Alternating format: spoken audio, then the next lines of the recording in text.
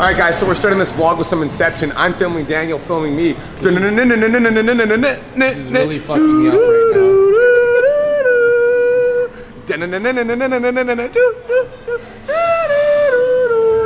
Inception. All right, we're good. Uh, what's up, guys? so I just got back from my bachelor party weekend, and it was fucking awesome. But seriously, it was like the best weekend I've had in a long time. I just needed like to reset, recharge, relax. Some highlights of the weekend. We went ATVing. It was really fun. Um, I haven't been ATVing like literally like since I was 14 years old, so that was awesome. Me and Kirsten did a joint stag slash stagette. So we got to like basically spend the day with the boys. She spent the day with the girls, and then we meet up at night and we would do fun things. And my cameraman Daniel projectile vomited all over himself. Definitely the highlight. Actually, of not on myself. Everywhere else. On himself. He's Everywhere lying. else, He's not no, he's lying. So those are the highlights of the weekend. So get, guys, whenever I get back from my vacation, my thing is that like I need to get back into momentum right away. So uh, I woke up this morning at 3:15. I tried to set my alarm for 3:15, and my body was like, "Not a fucking chance, bro." So I ended up getting up at four. Uh, did my meditation, did my affirmations, did my gratitudes, posted my content, and now I'm at the gym. Just finished up my workout, and me and Dan are gonna do some skits. So Today at 1 p.m. PST, we are finishing off the documentary, which is super exciting. For the last few months, we've been basically working on this like Iron Energy documentary, and we're bringing it all together today. We're talking about the storyline from 1 to 3 p.m., and I'm gonna catch some of that in the vlog as well. So stay tuned, more coming. Hey, it's Brian. I want to, I want to turn on my car. I want you guys to hear it. Ready? This is Dax.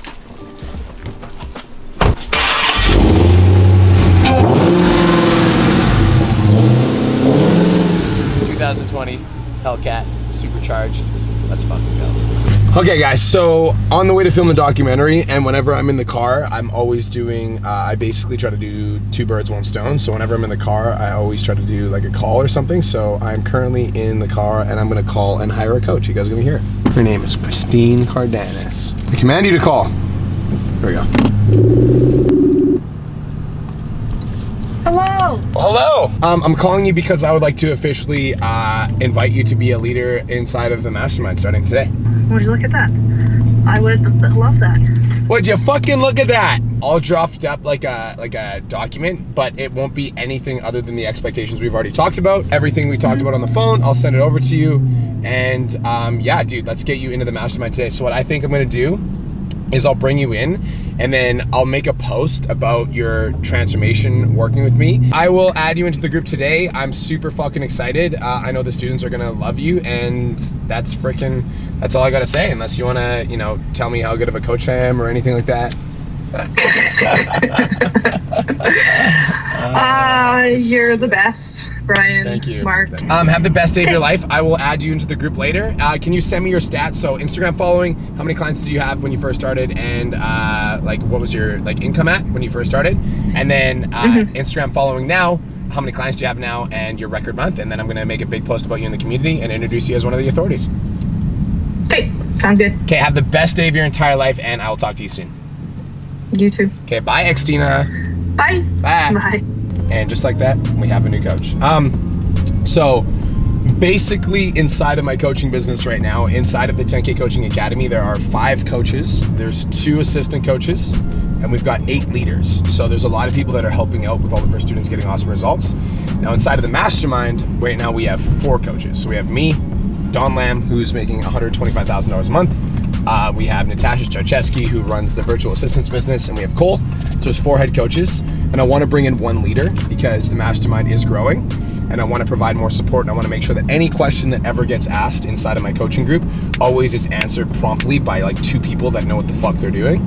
So Christine uh, is super smart, super knowledgeable, and she is very willing to give back, and I think that's super important. I think as a, like a mentor for coaches, like I found that throughout working with uh, students that there are some students that like take what I have to like give them, and then they almost just take it selfishly, and they're just like, oh, I'm fucking doing my own thing. I'm like that's it, and they're out, and that's cool. Like, but there's some coaches that take what I have like I've given them like in terms of like growing a business and learning how to like start their own movement and then they want to give back to the community and I fucking love that because I'm that type of person like I want to give back and I want to contribute like in my mentorship program like I'm always down to give back and so in, inside of PT Dom basically what I look for is like when I help a student change their life and they express interest in me and like helping me help my students. Like I fucking love that.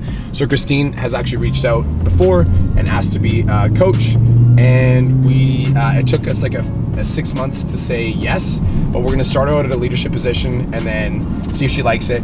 Um, she's gonna be in the mastermind group, answering questions, helping out with the community, and then if it goes really well, then we'll continue to progress. We'll move forward, and we will take it from like leadership all the way to head coach. So, or not head coach, right? Leadership to coach is like the next level.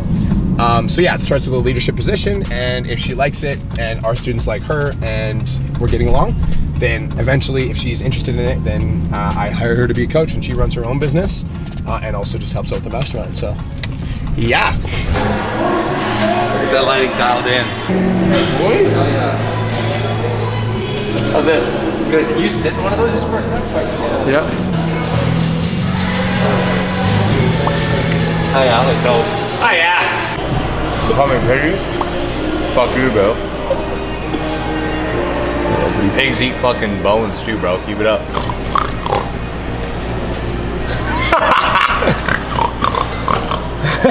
Those are pig noises, in case you guys didn't know what I was doing. Did you ever watch the uh, Mike Tyson Vander Holyfield fight? Yeah, I know what the fuck you're saying. Where he You- bit his fucking ear off? yeah, that's what pigs do. Exactly. Yeah. Can't get enough donuts. You also had to get some ear. Yeah, exactly. I need some protein, bro.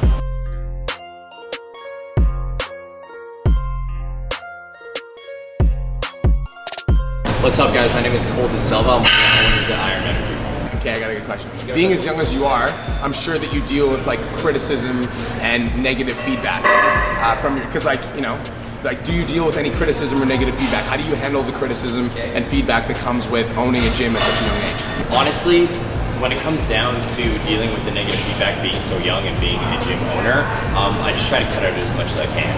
I've been getting that forever. I've, a bunch of people usually have that mentality, right? Where, oh, you're young, you don't know anything. You're young, you don't know what it's like to own a gym, or you shouldn't be owning a gym, or you shouldn't have a business, or you shouldn't be doing these things because you don't have any life experience. And honestly, um, I always say it, a bunch of people who actually know me personally understand it, that I've already lived a full life by the time I was like 16 to 17 years old. I left my house at 14. I've been through things that people can't even fucking imagine. So people can have their opinions, people can have like criticism based off of the fact that I now own a gym at 27 years old and we have another company as well and everything's thriving. Um, but I just block out as much as I can because I've already lived through things that people can't even imagine.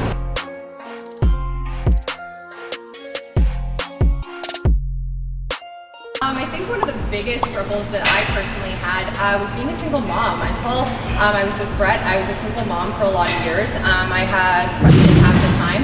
Um, but being that I was working full time, I was working crazy amount of hours before. Um, I was trying to prioritize myself and my fitness. Um, I had been competing and doing all of these things. I think the biggest thing for me was like being a single mom, trying to like figure out what I wanted to do literally when I grew up, trying to run businesses and trying to like overcome like how that like home life balance worked. And I guess this has like really turned into my passion is being able to empower and inspire women to be the best versions of themselves, how to prioritize themselves and not put themselves second, how being a good like leader for your family all starts with being a leader for yourself. Some of the biggest struggles I had to face, honestly, was moving into the online space with the little lack of knowledge that I have to move into social media. That's where I hired Brian Mark. Honestly, he's become a best friend. He's a great influence in the industry, and he's not. He's all. He's literally not all talk. He's all action. So the guy goes all in on everything, which I'm very similar mindset. So we vibe very, very well. And he allowed my business to really drive through. And if I rewind a little bit on that, before I went into the online space, I didn't have a path. I was just knew I had a gift and an idea and and what I was very good at, but the struggles I overcame was how to get my message out to the audiences without, you know, watering down my product, but staying firm in who I am and not being an influencer in the space, but being an icon in the space somebody that people could look up to so that we can deliver them the knowledge and the passion in the industry that people needed to hear, not the watered down version, the fucking authentic, that side that people need to really hear, the real raw material. And that's what really allowed Phoenix to prosper, allowed us to move into this, this position that we have with financial, to move into the gym, with a team and a family that we love to have this energy with.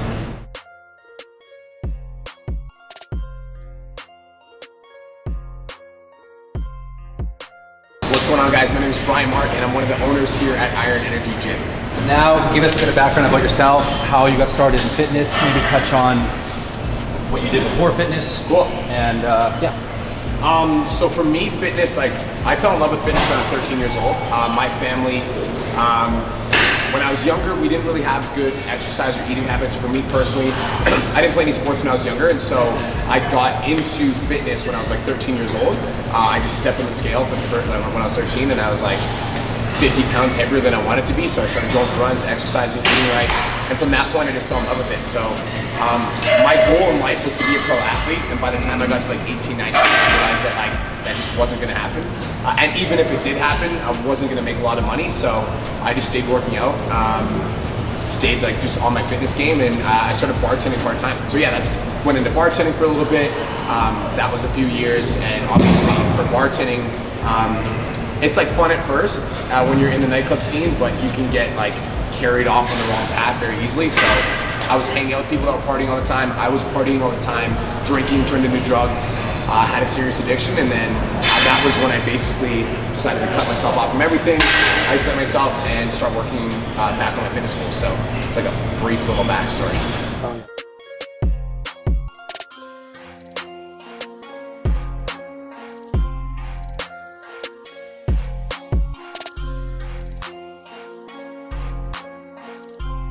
That's a wrap. That brings us to the end of my second vlog. And I just want to say thank you so much for taking the time to watch this. Uh, it's actually like nerve wracking for me to put this type of content out because I've never really done content like this before. And so if you're enjoying the vlog, uh, if you're getting value from it, please hit the subscribe button, uh, leave a comment, let me know what you think. And again, I appreciate your support so much, fam. So I'll see you next week on weekly vlog number three. I'll talk to you guys soon. Let's go.